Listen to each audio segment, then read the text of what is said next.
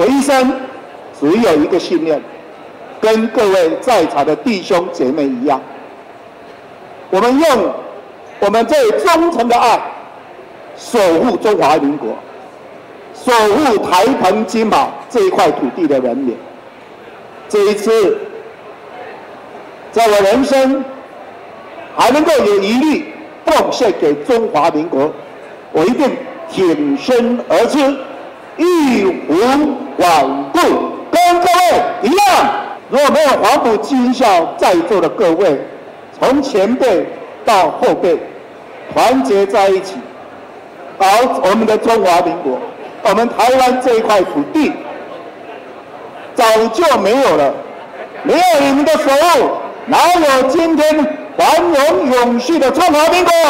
我对你们十分的感佩。我在这里。深深的给大家举个手指的敬礼，表示对大家的尊重。好来了，大家好来意，好来意，谢谢。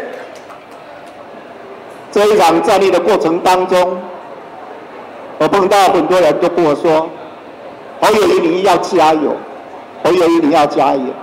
你做的还不够，你做的还不够多。”你要更努力，你是背负着我们所有人的期待，你是我们最后守护中华民国最重要，在此时此刻的捍卫者，你不能失败，你一定要坚定步伐向前走，你永远不能放弃，你永远一定为这块土地、为国家做最后的牺牲跟奉献。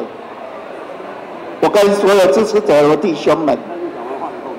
我爱大家，也爱中华民国，因为有你们对我的支持，有你们给我的鼓励，我永不会放，我会不断的调整步伐，不断的重新再出发，不断的把我们的意志力拿出来。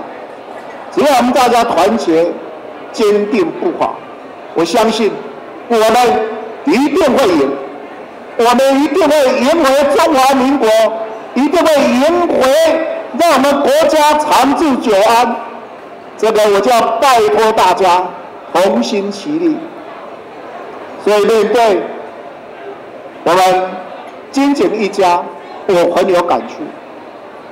我在当警察过程当中，面对无数的枪战，子弹从我旁边飞过去，我从不害怕。但是这场选战不是面对是子弹，面对是一个执政党的大机器。这个大机器用很多隐形你看不到的假信息，你看不到的抹黑，不断的在操作，不断的让我们在人的挑战的过程当中，让舆论舆论受到很大的影响。在这样的影响底下，我还是一样，我对自己、对所有的弟兄有信心，因为我们一定要让中华民国永续，请大家给侯友谊一个坚定的力量，我跟大家一起往前走。今校九十九周年的校庆，有没有记得我们都是爱中华民国的一份子？但愿大家的努力。明年的三明年的元月十三号明年的最后的胜利谢谢大家。到明年的此时此刻我会以总统身份参加黄埔军校一百年生日快乐。